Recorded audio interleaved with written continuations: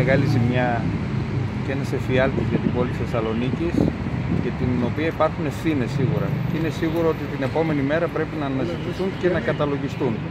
Δεν μπορεί για ένα επεισόδιο σε ένα ποδοσφαιρικό γήπεδο να αναστατώνεται όλη η Ευρώπη και να μείνει μια πόλη χωρίς νερό, μια πόλη ενός εκατομμυρίου χωρίς νερό και να μην συμβαίνει τίποτα. Άρα οι ευθύνες πρέπει να καταλογιστούν.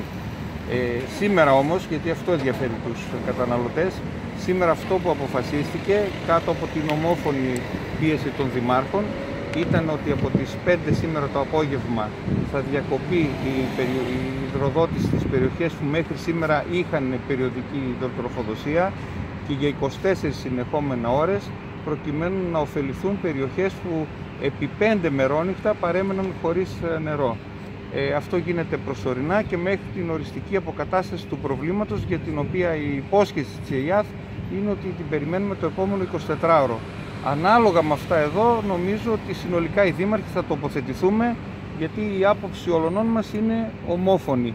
Εάν λειτουργήσουν αυτά όπως μας τα υπόσχεται η ΕΙΑΘ τότε φαντάζομαι θα εκτονωθεί το πρόβλημα. Εάν δεν λειτουργήσουν όμως λυπάμαι αλλά υπάρχουν τεράστια προβλήματα στην πόλη από ανθρώπους με ζητήματα υγείας, από νοικοκυριά που έχουν μείνει στο έλεος του εφιάλτη και, και τι πια οι δήμαρχοι θα σταθμίσουμε και θα κινηθούμε αναλόγως.